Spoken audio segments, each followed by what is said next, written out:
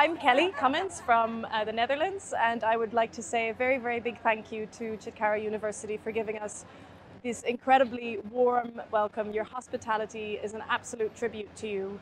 Uh, as are your students, the girls that I've experienced in the classroom today have been an absolute pleasure to work with.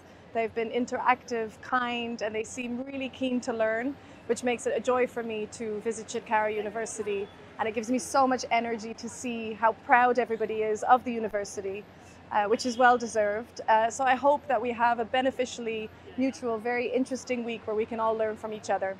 Thank you.